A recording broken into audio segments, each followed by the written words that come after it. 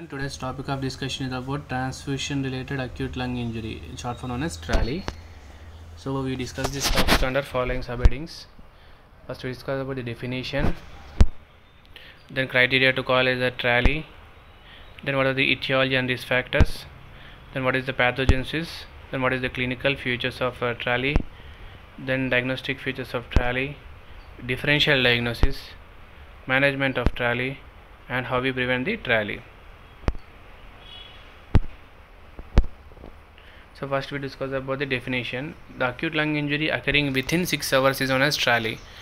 TRALI is one of the manifestation of acute lung injury and it is the clinical diagnosis and is a serious complication of transfusion which is characterized by non-cardiogenic pulmonary edema. TRALI has been associated with all blood components that contain plasma such as platelet concentrate, fresh frozen plasma, cryoprecipitate.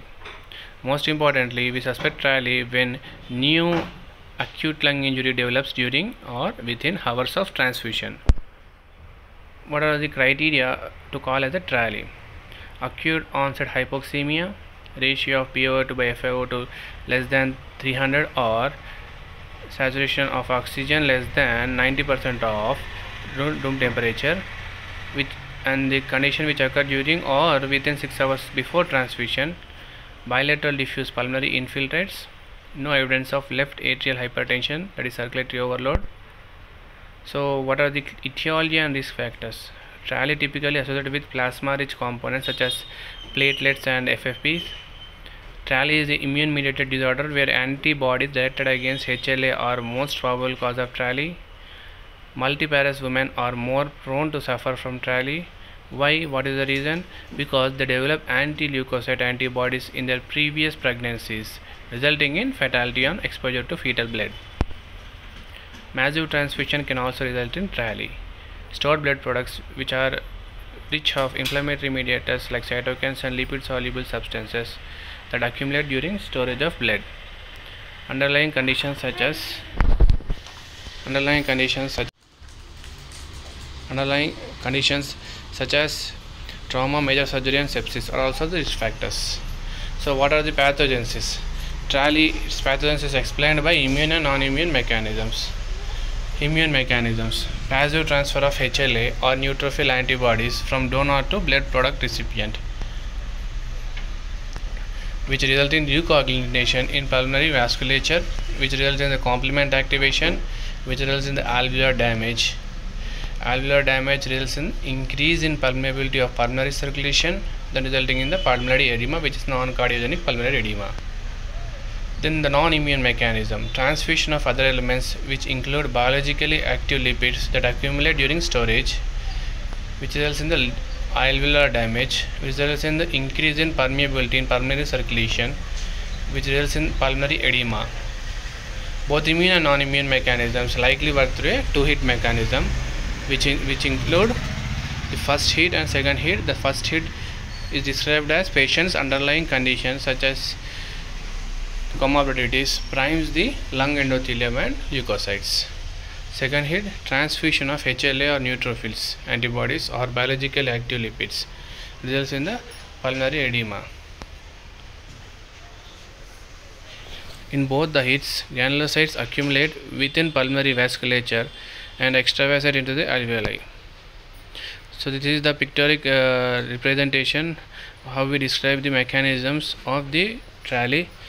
So the normal alveolus compared with injured alveolus is seen on either side. In early phase of acute lung injury, pro-inflammatory cytokines such as interleukin 8, 1 and tumor necrosis factor which are released by the macrophages cause neutrophils to adhere to the pulmonary capillaries and they extravasate into the alveolar space where they undergo activation. Activated neutrophils release a variety of factors such as leukotrienes, oxidants, proteases and platelet activating factors which contribute to local tissue damage resulting in the accumulation of edema fluid in air spaces, surfactant inactivation and hyaline membrane formation. Macrophage migration inhibitory factor MIF released into the local milieu sustains the ongoing pro-inflammatory response. Subsequently, the release of macrophage derived fibrogenic cytokines such as transforming growth factor beta and platelet derived growth factor stimulate fibroblast growth factor FGF and collagen deposition which are associated with the healing phase of the injury. Clinical features of the TRALI. Dyspnea or respiratory distress requiring oxygen support virtually in all patients with TRALI. 70% of individuals with TRALI require mechanical ventilation. Hypoxia noted virtually in all TRALI patients. Cyanosis which is very common in TRALI patients. Majority of TRALI patients hypotension is more common. Fever is very common in TRALI patients. Clinical examination reveals respiratory distress and pulmonary crackles which may be present with no signs of congestive heart failure or volume overload. So diagnostic features in TRALI onset within 1 to 6 hours of transfusion, acute respiratory distress, acute bilateral pulmonary edema which is non-cardiogenic, severe hypoxemia, hypotension, fever, mild to severe clinical spectrum. The differential diagnosis, transfusion-related bacterial sepsis, anaphylactic transfusion reactions, transfusion-associated cardiac overload which is often known as TACO, hemolytic transfusion reaction. So one by one we discuss the differential diagnosis uh, related to TRALI.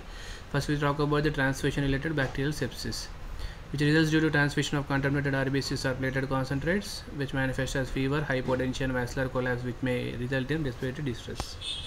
Anaphylactic transfusion reactions results in respiratory distress related to bronchospasm, manifested by tachypnea, wheezing, cyanosis, and severe hypotension. Respiratory distress from above complication results in laryngeal and bronchial edema rather than pulmonary edema as in TRALI.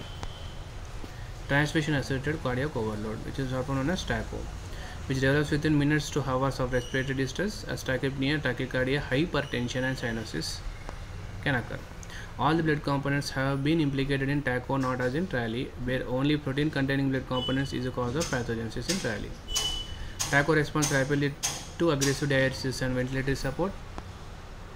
So these are the following uh, differentiation differences between the TRALI and TACO so the temperature that fever is present in uh, which is absent in TACO blood pressure that is hypotension is uh, common in TRALI which is uh, hypertension is seen in uh, TACO acute dyspnea is seen in uh, which is uh, seen in both in TACO and TRALI whereas uh, jugular vein pressure uh, which is unchanged in both of them auscultation uh, is uh, seen in uh, TRALI rales which in uh, TACO is rales it is uh, S3 heart sound is seen can be heard chest radiograph uh, entirely diffuse bilateral pulmonary infiltrates uh, seen also also seen in case of TACO. Resistive traction, uh, some most of the conditions normal, but in some conditions uh, decreased in case of TRALI. Whereas in TACO, it is uh, resistance fraction is decreased. Pulmonary artery acute occlusion pressure. The pulmonary artery occlusion pressure in TRALI less than eighty nine M per mercury in TACO more than eighty nine M per mercury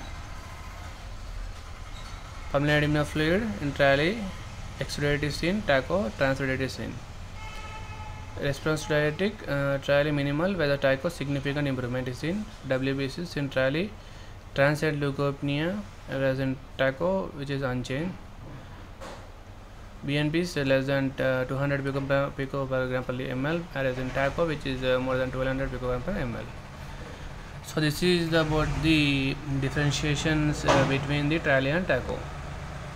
So hemolytic transfusion reactions. It is distinguished from TRALI by presence of hemolysis. Management of TRALI. Immediate and uh, conservative management are, uh, can be uh, done in uh, management. So immediate management, stop transfusion immediately, support the patient. The patient is intubated, obtain undiluted edema fluid as soon as possible within 15 minutes and simultaneous plasma for determination of total protein.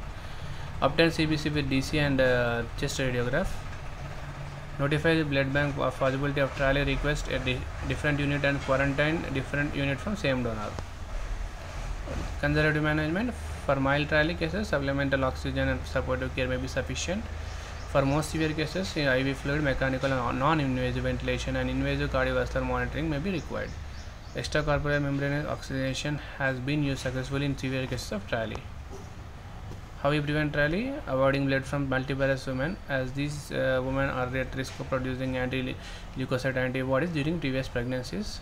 Donors whose blood has resulted in TRALI-like reactions previously.